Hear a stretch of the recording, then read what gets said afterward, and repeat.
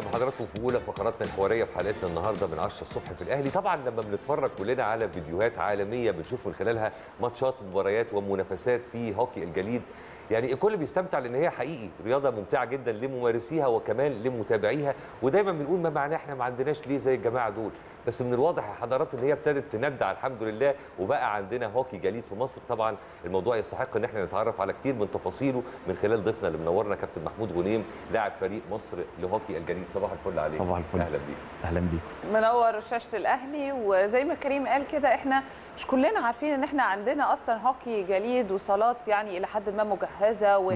واستضفنا بطولة ولسه خلصانة. يعني الموضوع. كبير قوي. آه طبعا. فيعني نسمع منك بقى كابتن غنيم. آه طبعا مصر معروف إن فيها الهوكي الأرضي وهوكي الانزلاق. عندنا اتحادات وعندنا فرق كتيرة ليها لكن الهوكي الجليد آه، ابتدينا الموضوع في 2002 آه، عن طريق آه، بعض الأجانب الكنديين طبعا اللي عايشين في مصر. ابتدوا يعرفوا الناس المتزلجين هنا في مصر على اللعبة ابتدوا يعلموهم إزاي يلعبوها ابتدوا يمدوهم بمعدات آه، مضارب اللبس الحماية. آه، من هنا ابتدينا إن إحنا عايزين نعمل فريق آه، ونكبر اللعبة ونعرف الناس أو المصريين عامة على اللعبة. آه، 2015 آه، ابتدينا نكون فريق آه، سافرنا أول بطولة عربية آه، في المغرب. آه، كانت آه، باستضافة المغرب وبحضور فرق من الجزائر آه، وتونس ومصر. آه، طبعا كانت أول مشاركة لينا. آه، بعد كده قررنا إن إحنا عايزين نتواصل مع المصريين اللي عايشين في الخارج لأن اللعبة طبعا معروفة جدا يعني معروفة عالميا آه، خصوصا في كندا وأمريكا. طبعا.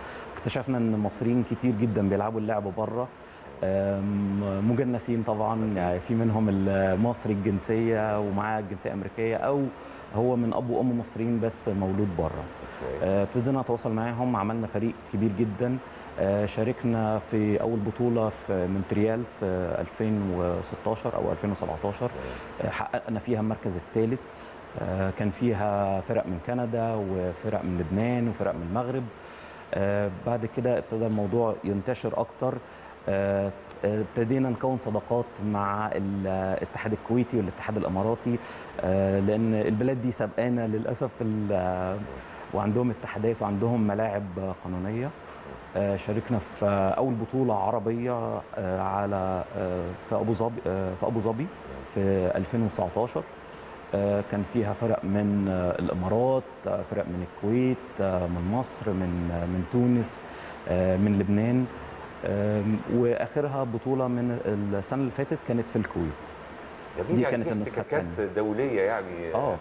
ملحوظة طب إحنا عندنا بالمناسبة اتحاد مصري للهوكي الجليد ولا تابعين لاتحاد الهوكي العام؟ لا حاليا ما فيش اتحاد بس إحنا معترف بينا من اللجنة الأولمبية.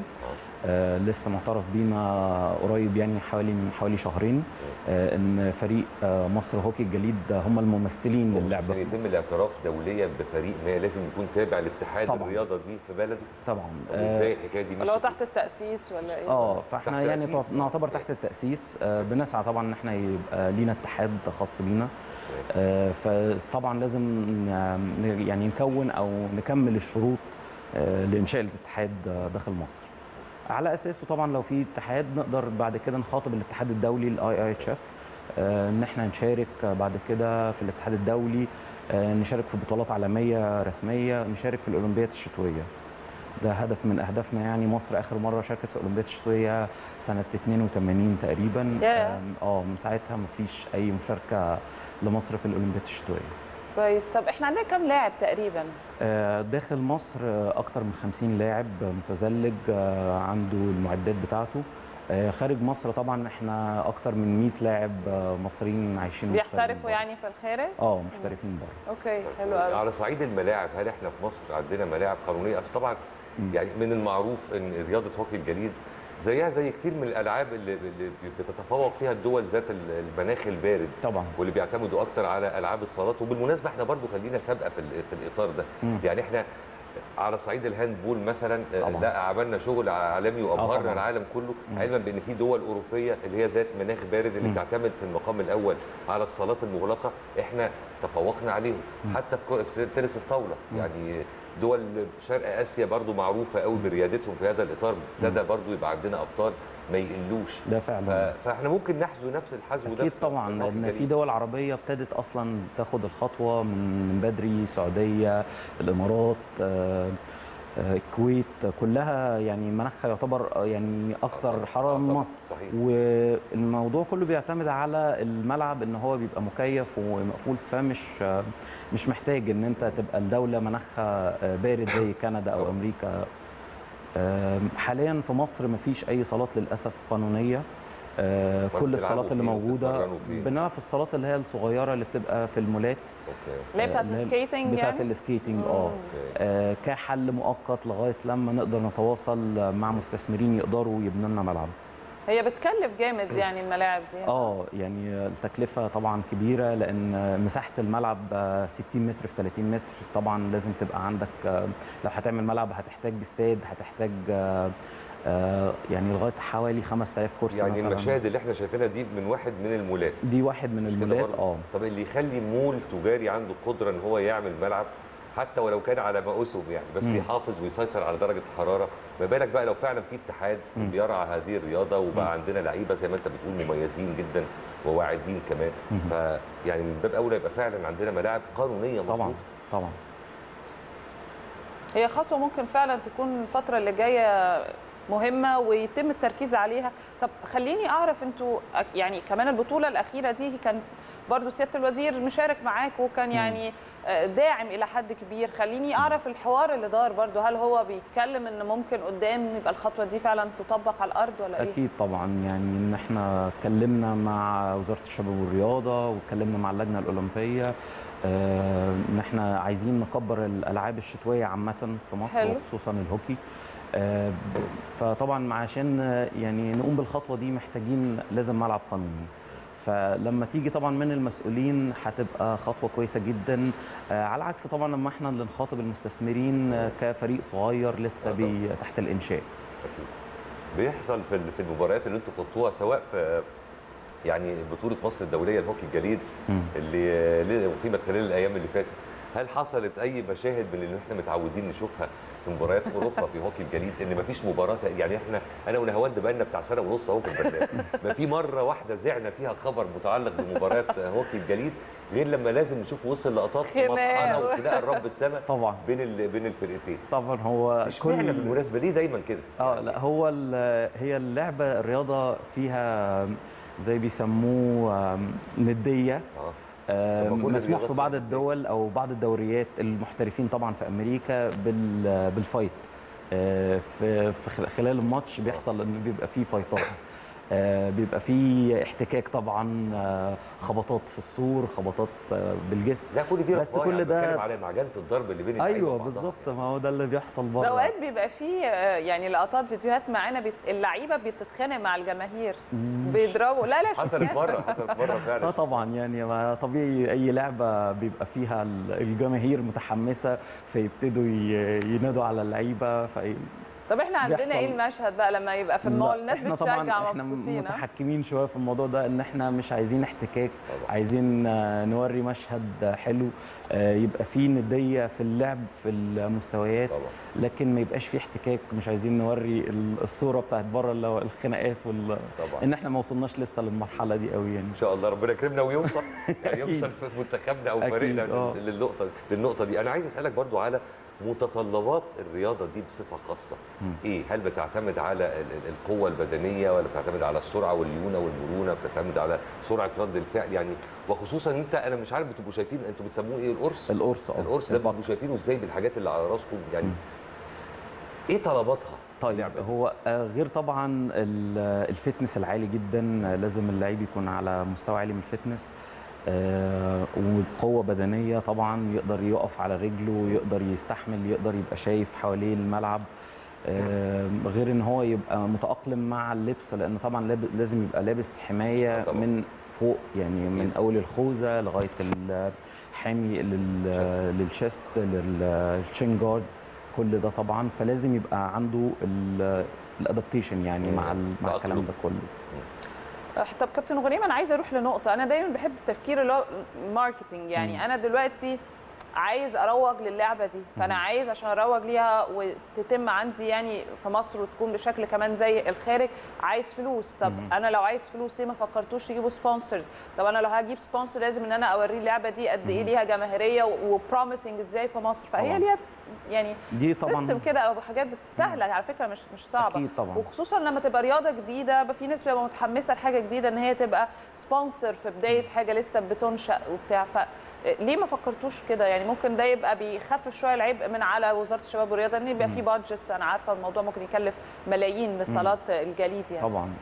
يعني دي طبعا أكيد في, في يعني واخدنا في الاعتبار حتى البطولة الأخيرة إحنا داخل معانا حوالي 20 sponsor آه، داخلين مش آه، بس بفلوس لأ بالأدوات أو بال إحنا مثلا عايزين نعمل covers عايزين نعمل backdrop اللي بيبقى عليها ال logos بتاعت. الشركات آه، عايزين شبك حماية حوالين الملعب طبعا. عايزين ميداليات نقدمها للاعبين. فدخل معانا sponsors كتيرة آه، كمساهمة معاهم وفي نفس الوقت كدعاية ليهم خاصة. آه، لكن ال- المضارب والملابس دي المضارب والملابس دي طبعا ملكيات خاصة؟ آه طبعا. آه بالإضافة إن طبعا الفرق المشاركة لينا من الخارج آه بيساهموا معانا جدا. آه هو ال- ال Friendship League أو آه جمعية الصداقة هم ال- اللي اقترحوا ال- البطولة دي. آه، كل سنة بيعملوها في كل آه، دولة آه، دولة سياحية. عندها لعبة الهوكي بس مش على قدر زي كندا. آه، بيبتدوا يتواصلوا مع الفرق المحلية بيقولوا لهم إحنا عندنا فريق عايزين نيجي نعمل معاكم بطولة ودية وفي نفس الوقت نقوم بالحاجات السياحية اللي داخل مصر.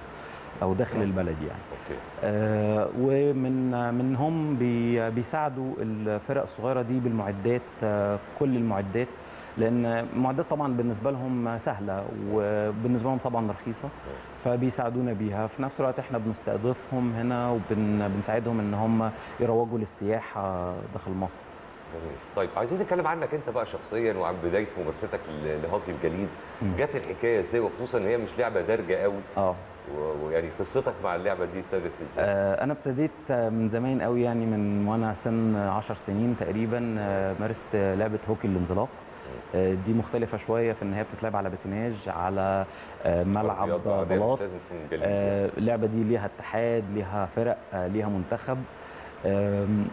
يعني طبعا آه، بحكم إن أنا كنت بلعب اللعبة دي كنت متابع آه، هوكي الجليد وحاببها أكتر لأن هي اللعبة أسرع وفيها fitness أعلى وفيها اللي هو بيسموه ال adrenaline rush. آه، فحبيتها أكتر. بس للأسف ما ما عرفتش إن في أي فرق لغاية 2015 عرفت إن في فريق مصري بيلعب جوه مصر في الصالات الصغيرة شاركت معاهم. ابتدى الموضوع ان إحنا في بطولات خلاص ماشي اللي عنده آه، امكانية مادية ان هو يسافر ويشارك في البطولة تمام مفيش مشكلة. طيب حابب تخش معانا في الإدارة؟ حابب نكبر الموضوع؟ أكيد طبعا. آه، حاجة تشرفني طبعا إن أنا أكبر الموضوع وإن إحنا يبقى لينا اتحاد ولينا ملعب. آه، فالموضوع ابتدى انت لسه. بتمارسها لغاية دلوقتي؟ لغاية دلوقتي بمارسها آه. okay جميل. تحس هو بيتكلم فيه passion يعني آه، أنت جداً. بتحب آه ال- حاجة من الحاجات اللي فعلاً. اللي فعلا بحبها ويعني قوي. الواحد لما بيحب حاجة بيبذل فيها صح. كل مجهود ويعني سواء عرق أو فلوس وممكن أنت تكون السبب فعلا إن اللعبة تدخل مصر بشكل بقى يعني عن طريق اتحاد ويعني بشكل. يعني احترافي زي أي دولة تانية أكيد. عندها يعني حتى دول الخليج يعني نجحت. في ده يعني طب أنا عشان الوقت بيجري أنا عايز أسألك برضو يعني هل اللعبة دي ممكن في يوم من الأيام يبقى فيها برضو يعني عنصر نسائي ولا اللعبة ده طبعا هدف أكيد من أهدافنا عشان هو في في العالم. أصلا ولا لأ آه طبعا ال- يعني كل دول العالم اللي عندها اللعبة عندهم اتحادات آه، موجود عندهم فريق رجال فريق نساء وفريق أطفال تحت السن بس ما بيلعبوش ضد بعض آه، ما بيلعبوش ضد بعض بيبقى آه ليهم مجزرة. آه لأ بس مش آه، فيها معجنة آه. الضرب عليها. اللي لسه خلصانة امبارح كان معانا ثلاث بنات مشاركين من فرنسا ومن أمريكا ومن ألمانيا. آه، فكان معانا عنصر نسائي وعندنا بنات بتلعب اللعبة يعني مصريين داخل داخل مصر. فلا اللعبة معروفة إحنا ما يعني. سيبناش حاجة ما لعبناش بصراحة آه يعني. لا طبعا. ودي حاجة كويسة على آه يعني. يعني إحنا حتى عندنا فريق ال figure skating اللي هم ال- التزحلق الفني على على الجليد آه، ليها شعبية وليها لاعبين بنات كتير يعني. فال ال- يعني الرياضات الشتويه مش مقتصرة بس على الهوكي في في رياضات أكتر كمان. فالواحد ممكن يدخل يبتدي الموضوع كتزلج وبعد كده يبتدي يتخصص بقى. انت طالما عندك ال ال ال هذا القدر من الشغف تجاه الرياضة دي وفي نفس الوقت يعني شايف إن الأجواء المحيطة مش بتساعد قوي إن أنت يعني إيه تخطو خطوات إلى الأمام في هذا. الإطار. ما فكرتش ولو مرة إن أنت مثلا مثلا تسافر بره وتحترف في هذه الرياضة طالما بتحبها للدرجة دي. آه الاحتراف ربنا يفرجها من عندك يا ريت. وتتظبط الأمور في مصر. لا هو الاحتراف للأسف يعني اتأخر الموضوع شوية في السن آه، بالنسبة لي. لأن برضو أنا ابتديت في اللعبة متأخر جدا يعني ما بقاليش حوالي خمس أو ست سنين أنت بلعب عندك كام. سنة؟ آه 35 مثلا؟ 33 36 33 م، نعم؟ 33 آه sorry 33 فاللاعبين بره المحترفين بيبتدوا من سن صغير جدا من حوالي خمس أو أربع سنين كمان. فاللي هو بمجرد ما يبتدي يحط الجزمة في رجله طبعا. ف على ذكر الجزمة أنتوا إزاي بتعملوا ال balance ده؟ ما أنا دي. حاجة من الحاجات- جزمه فيها سك- سكينه من تحت آه. وماشي على انت سيف عمرك ما جربت skating؟ جربت مرة فرجت عليا أمة لا إله إلا الله والله في واحد من المولات على فكرة بالمناسبة برضه اللي في المعادي صح؟ لا كان في مدينة نصر آه والكلام ده من زمان عايز أقول لك كنت فرجة كل الحضور لحضرتك تنورنا وح... أنا اللي هعلمك هتنبسطوا اللي- قوي هتنبسطوا طب والله. إحنا ممكن نعمل تقرير طب والله العظيم أنا وكريم أنا نيجي عندي نعمل استعداد. تقرير ده هيبقى آه. جميل تاني يوم بقى أنا جاي. لك بقى معلق إيه ايد لا خالص ما أنا مش حاجات في مش. هسيبك تقع هبقى مسندك طول الوقت. ما تقلقش. طب تصدق بقى هنعملها نظبط مع لا وأبوس من إيدك فريق ما. تسعيش في الحكاية دي. جميل. طب بتحلم بايه يا كابتن محمود؟ يعني في, في, في آه، الرياضة دي نفسك يعني- سواء على الصعيد الشخصي هل هل هل متخيل مثلا نفسك اداريا مثلا. أو فنيا مسؤول عن منتخب مصر في يوم من الأيام؟ ده ده حلم من أحلامي طبعا إن أنا يكون مسؤول عن أول منتخب مصري ويكون عندنا منتخبين مصري رجال وسيدات. أم، حلمي إن يكون عندنا أول ملعب في مصر قانوني. ده هيبقى أول ملعب في شمال أفريقيا. أفريقيا كلها ما فيهاش غير ملعب واحد في جنوب أفريقيا. نقدر نستضيف بعد كده الدول العربية نقدر نستضيف بطولات نعمل أول بطولة أفريقية أه، تبقى في. مصر. كان حلم من أحلامنا مع جمعية أه، هي جمعية خيرية أمريكية أه، بيساهموا برضو في في رياضة الهوكي. إن هم عايزين يعملوا أول ماتش هوكي أمام الأهرامات. زي ما شفنا ماتشات كتيرة السكواش آه، كان عندهم تخيل و- وعندهم فكر إن إحنا ليه ما نمدش مصر؟ excellence طبعا فهم. محتاجين budget آه. طبعا. فحتى هم حاطين على ال- ال Facebook page بتاعتهم تخيل المنظر الأهرامات وقدامها ملعب الهوكي. أكيد هيبقى جميل آه، إن إحنا نستضيف فرق كبيرة آه، من كندا أو أمريكا يلعبوا مثلا ماتش نهائي. في في مصر. فكرة هايلة يعني تحت تندرج تحت السياحة الرياضية العالمية ال- بالظبط. ال- اللي هتعمل marketing بشكل كمان لو. بتتكلم عن الأهرامات دي فكرة حلوة جدا, جداً. على فكرة. بس يعني هتكلف برضو. قوي. آه. إحنا اوريدي ابتدينا نتكلم مع كذا حد من المسؤولين اتكلمنا مع وزارة السياحة آم، آه، القطاع السياحي آه، في وزارة الشباب والرياضة. فكلهم عندهم فكرة عن الموضوع. بس طبعا آه، يعني العائق للأسف البادجت طبعا آه، كبير جدا بس دي أنت ممكن تروح مش بس وزارة الشباب والرياضة دي وزارة السياحة وزارة الآثار آه. يعني هيبقى في كذا في كذا جهة وزارة آه. وكلهم المفروض يبقوا داعمين لأن أنت بتستفيد منها بعد كده من كذا زاوية مش. من حاجة واحدة ف- أكيد لا بس اعملها بجد كابتن غنيم والله ف- فكرة يعني يعني ربنا يعني. فعلا فكرة آه. حلوة بس سر إن أنت تنفذها إن شاء الله ربنا إن شاء يوفقكم الله. بإذن الله انبسطت جدا بوجودك معانا ربنا ونتمنى لك كل يكرمك. توفيق أنا- وإن شاء الله. تحقق كل أحلامك بإذن الله ومنتظركم في أي يوم خلاص التقرير ده آه، هيتعمل التقرير هيتعمل يحصل على ده اللي لي خايف منه. ده. اللي أنا خايف. منه. آه لا وهعلمك الله. التزلج و... ده أنا هنسيك أنت التزلج لا لا ما تقلقش نورتنا يا كابتن محمود شكراً جدا لك. وجودك معانا هنطلع فاصل يا حضرات ونرجع بقى نتكلم باستفاضة عن لقاء الأهلي والاسماعيلي من خلال تاني فقراتنا الحوارية. اتفضل